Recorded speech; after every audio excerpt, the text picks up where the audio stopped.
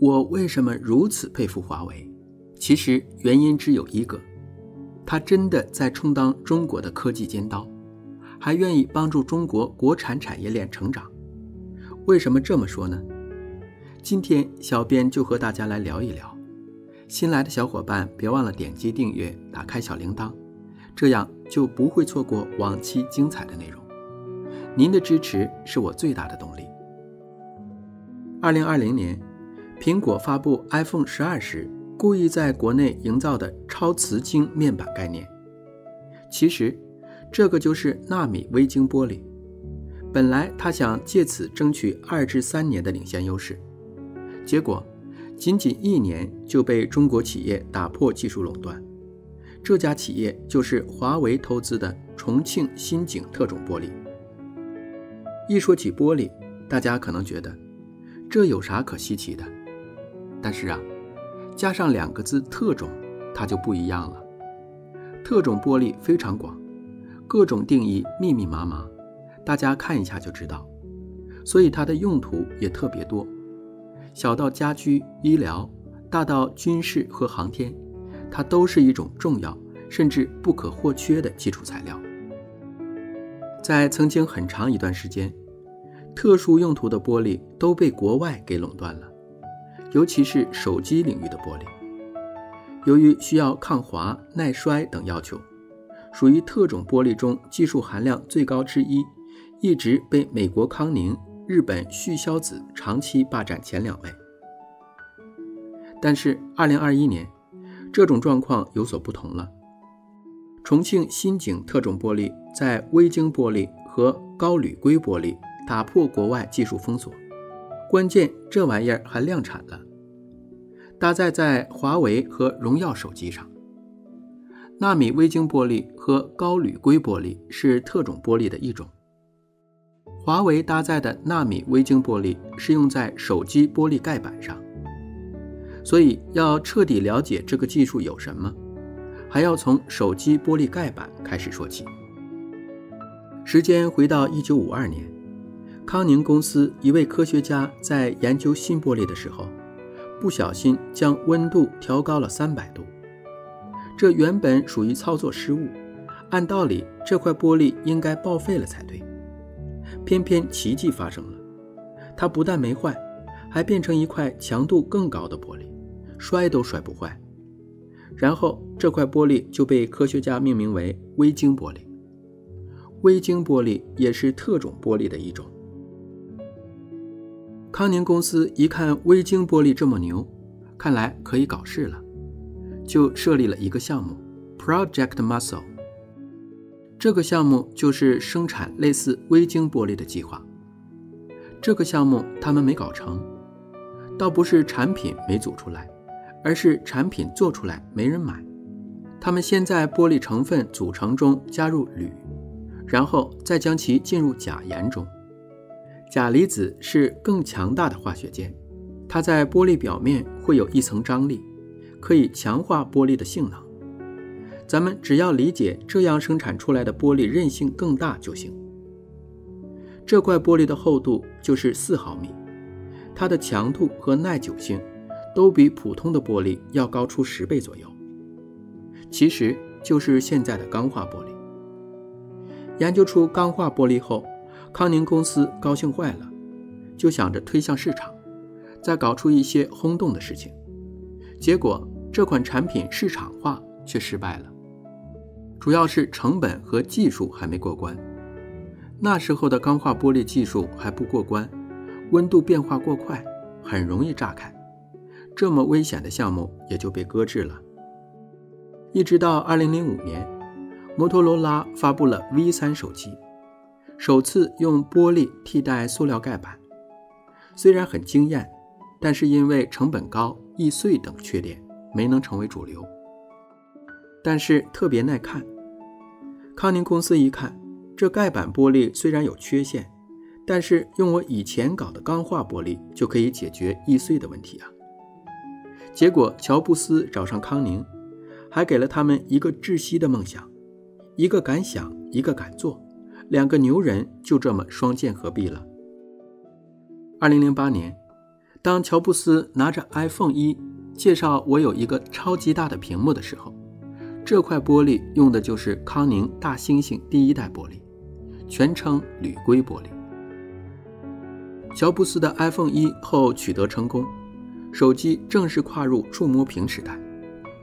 此后，康宁大猩猩玻璃在十年间更新数代，每一代都成为各个手机厂商追捧的对象。很多品牌的旗舰手机都会以拥有最新的大猩猩玻璃为荣。中国手机品牌虽然也分到一杯羹，但是先发优势一直是苹果为首的国外品牌。最先更新的猩猩玻璃，通常是苹果和三星先用。中国手机品牌一般只能作为追随者，扩充产能之后才会轮到我们。苹果和三星就吃到了一波又一波的红利。不过，就算是这样占到先发优势，苹果和三星也不满足。康宁大猩猩经过产能扩充，在大部分手机上普及之后，他们就很少宣传使用的玻璃盖板是康宁的。说白了。就是故意与国产手机品牌区别开来，免得掉价。除此之外，他们还选择合作的方式来建立供应链的优势。其中，苹果就两次注资数亿美元支持康宁研究新型的屏幕，三星也与康宁合资成立公玻璃公司，就是打算在战略上占据先发优势。反观中国手机品牌。虽然做的足够强大，但是在一些核心领域还比较弱，或者处于跟随状态。高端玻璃盖板就是如此。二零二零年时，苹果公司发布了 iPhone 十二系列手机，这个系列手机采用的超瓷晶面板，手感和质感得到提升。苹果对这个材质非常看好。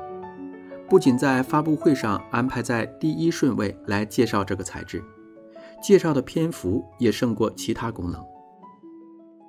对于以创新出名的苹果来说，单独介绍一种材质已经是打破它传统的宣传方式。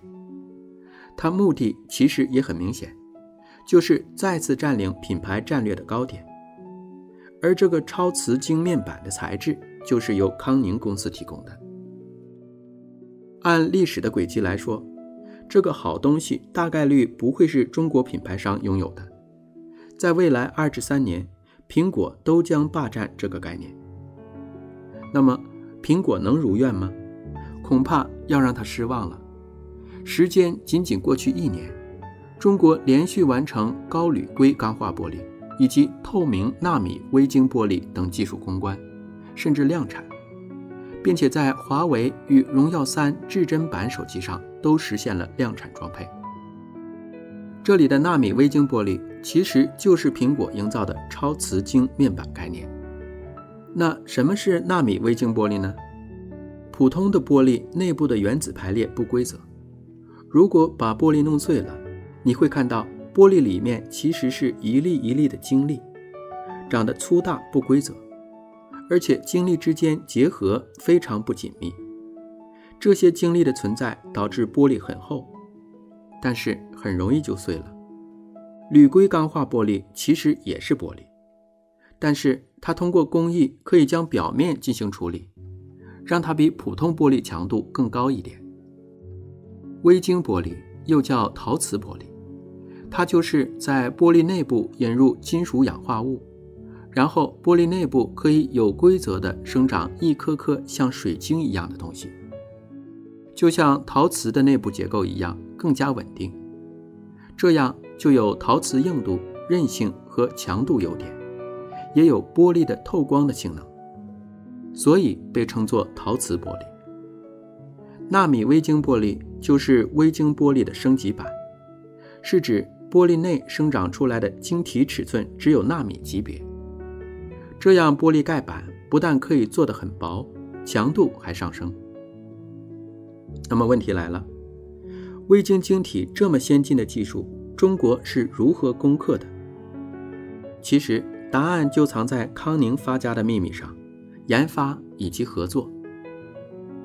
中国工业种类很齐全，只是有些门类技术还处于积累的阶段。微晶玻璃的技术就是如此。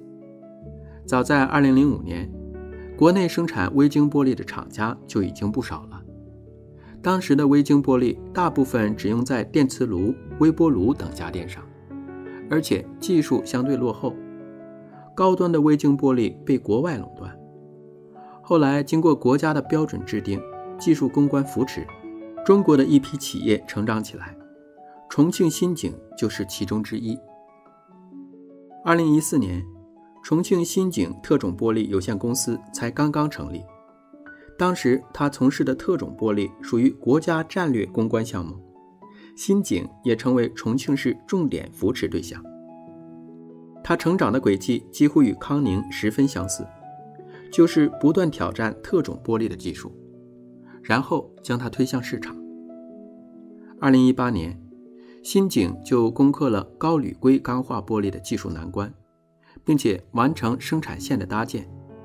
这个高铝硅玻璃就是大猩猩玻璃的材质。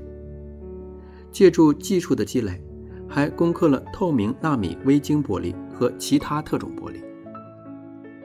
以往中国企业就算研发出技术和产品，也会遇到没人用的情况，因为国外的技术更成熟，品牌性更好。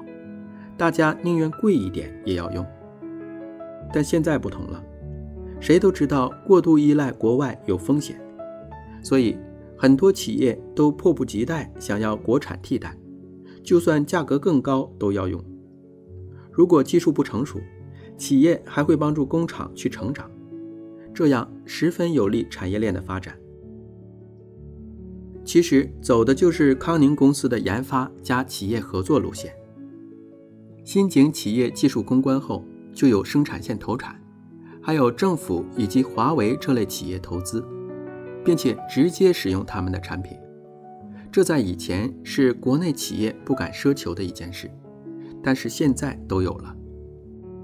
虽然它的技术还未达到领先，而且成本相对较高，只能搭载在华为和荣耀的旗舰机上，但是只要中国手机在用。愿意支持中国供应链，中国的微晶玻璃技术就可以快速的发展起来。技术成熟了，又可以反哺国产手机品牌，整个供应链得到良性。